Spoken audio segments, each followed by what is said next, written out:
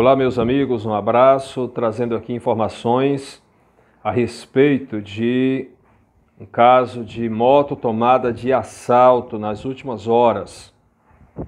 Esse fato aconteceu no dia de ontem, por volta das nove da noite, nove da noite de ontem para hoje, quando a equipe de serviço da Polícia Militar de Redutaba foi acionada pela vítima informando que havia sido abordado por dois elementos armados de revólver na localidade de Croatá dos Mendes e que os mesmos tomaram sua moto. Atenção para as características da moto. Uma Honda CG 150 ano 2008 moto vermelha de placa HYY 5578. E em seguida, os acusados tomaram rumo ignorado.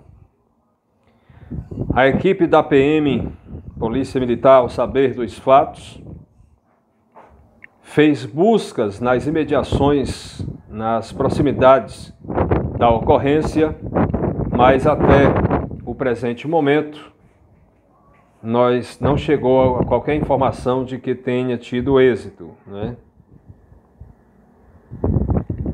A vítima foi orientada a fazer o boletim de ocorrência na delegacia de polícia civil.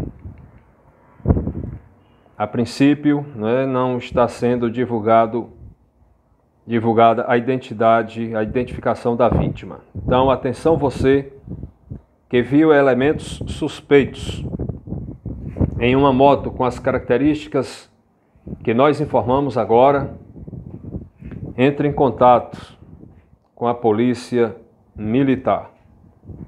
Esta é a informação que temos até o momento sobre este caso e, portanto, Qualquer momento nós poderemos voltar com novos vídeos, com novas informações.